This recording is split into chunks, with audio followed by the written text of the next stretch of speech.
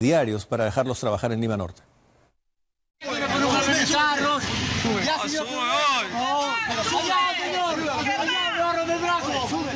Fueron intervenidos cuando estaban a bordo de un vehículo.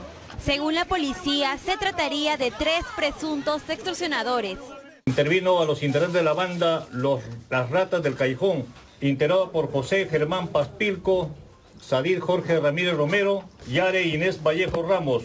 El jefe de la Brigada Especial contra el Crimen Lima Norte mencionó que las personas detenidas habrían pedido 100 soles diarios a uno de los encargados de una empresa de comunicaciones para dejarlo trabajar en San Martín de Porres.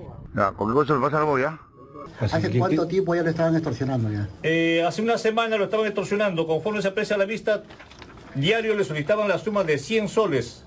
¿Al dueño de, de qué empresa? En la empresa OWO.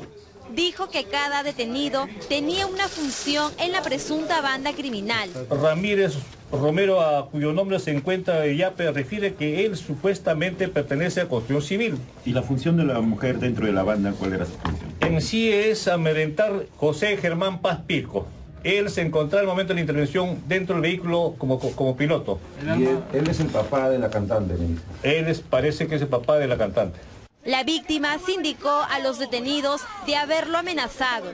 Si no pagaba el grupo de 100 soles diarios, iban a paralizar la obra, ¿no? Que es en todo lo que es fibra óptica tendido de, de huevo Telsac, ¿no? Entonces que si no pagaba, iban a tener represalias contra mi persona y los indico a ellos, ¿por qué? Porque yo ya los he amedrentado. En la intervención encontraron un arma de fuego, celulares y dinero en efectivo. Los detenidos fueron trasladados a la Brigada Especial contra el Crimen Lima Norte para continuar con las diligencias de ley. 6 y 15. La